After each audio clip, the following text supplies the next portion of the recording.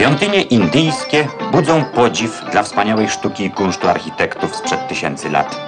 Pamiętają czasy dawnej świetności kraju i są celem turystycznych pielgrzymek z całego świata.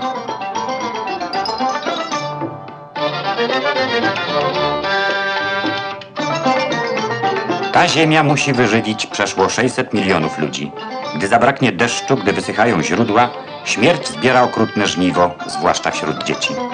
Cała nadzieja w rozwoju rolnictwa, które potrzebuje maszyn, nowoczesnych technik nawadniania i uprawy ziemi. Na plantacjach trwa właśnie zbiór herbaty, tak cenionej w świecie.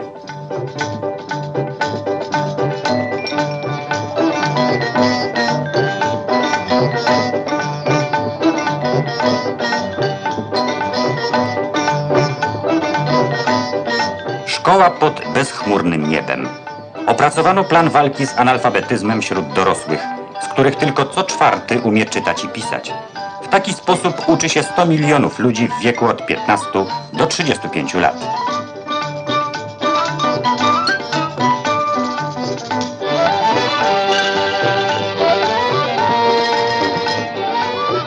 Indie z uporem rozwiązują swe gigantyczne problemy. Rozwijają nowoczesny przemysł, by przetwarzać bogactwa naturalne ziemi i zapewnić ludziom pracę.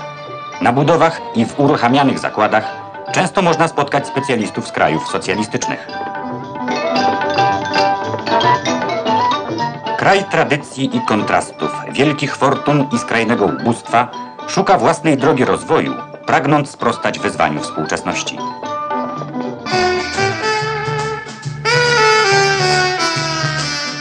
Stolica kraju rad w zimowej szacie.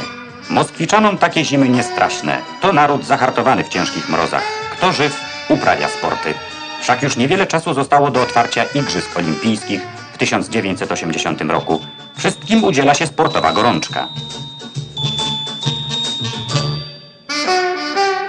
Wioska olimpijska prawie gotowa. 18 wieżowców, każdy po 16 pięter. Wygodne apartamenty czekają na przyjazd kilkunastu tysięcy sportowców. Harmonogram przygotowań do igrzysk realizowany jest zarówno na budowanych obiektach sportowych, jak i w szczegółach ubioru czy wyposażenia olimpijczyków.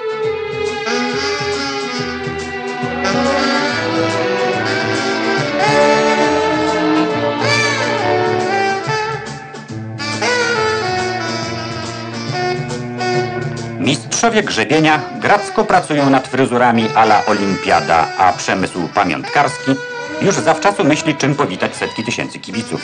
Pamiątki zdobione motywami rosyjskiej sztuki ludowej. Każda olimpiada ma swoją maskotkę. Moskwa wybrała wesołego miszkę.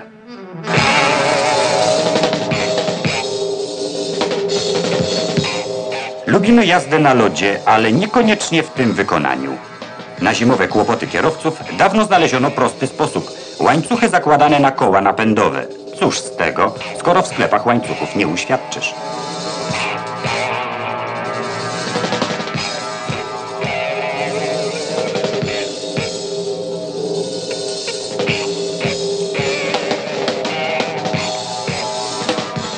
Produkcji poszukiwanych łańcuchów podjął się dwa lata temu warsztat inżyniera Jerzego Szajkowskiego w Poznaniu.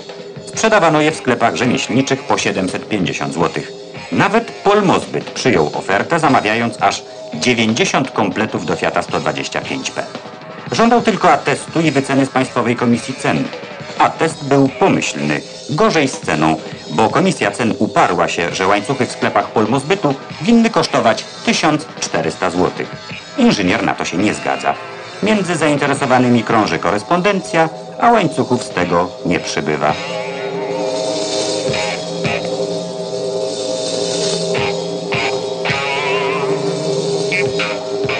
Iluż utknięciom w śniegu, poślizgom i wypadkom można by zapobiec, gdyby jakiś biurokrata choć przez chwilę pomyślał.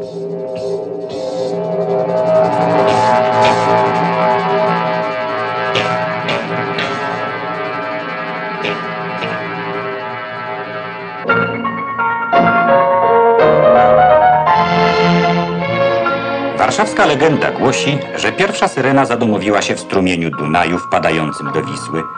Trudno dziś to dociec. Można co najwyżej sprawdzić w starych sztychach i pieczęciach z XV wieku, jak on dziś nosiła się ta sławna warszawianka.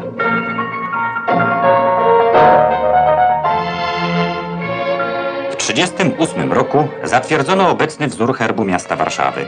Syrenka ma być zwrócona w prawo. W lewej ręce ujmuje tarczę, a w prawej szablę ułańską wzniesioną do ciosu. Włosy blond złote, łuska srebrna, a cała postać zgrabna i wiotka. Jednego rajcy miejscy nie rozstrzygnęli, panna czy mężatka.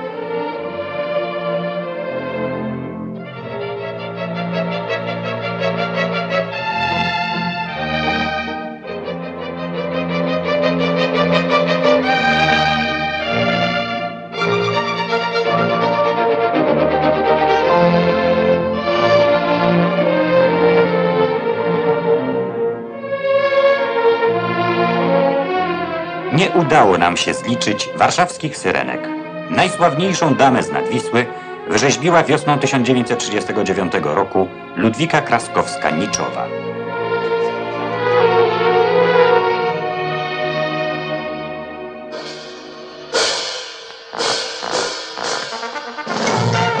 Artysta plastyk Maurice Delmons z Cwanenburga w plener wyjeżdża tylko na rowerze.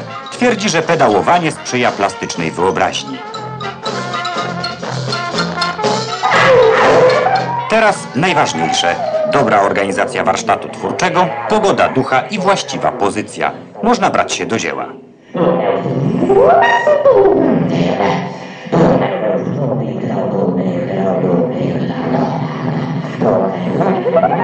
Od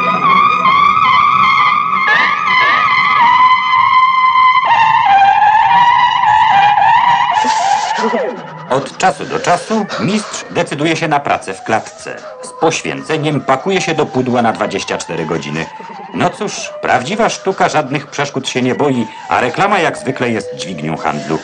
Nie wiemy, co z tego wynikło, lecz na wszelki wypadek namawiamy studentów ASP do porannej gimnastyki.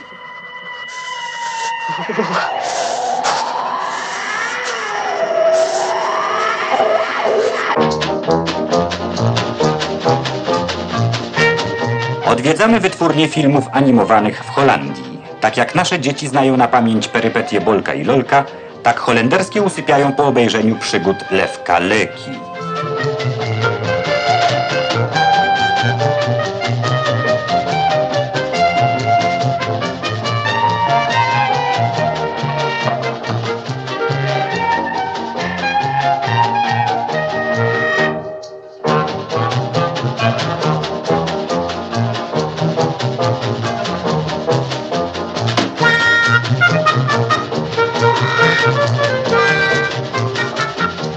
Śmieszny Leki nie ma łatwego życia. Był już bohaterem 200 odcinków filmowych, a tu każą grać dalej. Przygotowanie filmu animowanego to żmudne zajęcie. Jeden ruch, jedno zdjęcie. Godziny pracy, a na ekranie sekunda śmiechu.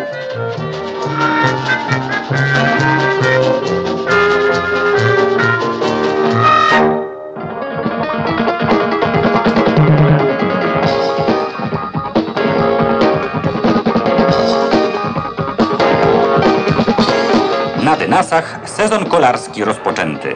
Warszawskie Towarzystwo Cyklistów zaprosiło młodzież z całego kraju na tradycyjny wyścig przełajowy. Trasę wyznaczono na Wiślanej Skarpie, tam gdzie przed wojną ścigali się najsłynniejsi cykliści.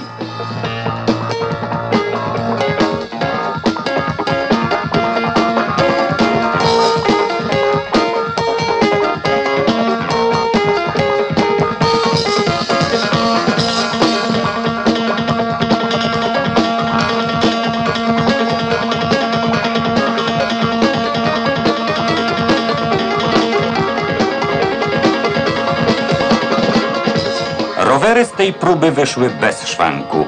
Wszyscy mieli równe szanse. Nikt nie mógł narzekać na jakość sprzętu, na złapaną gumę. Wygrał faktycznie najmocniejszy w nogach.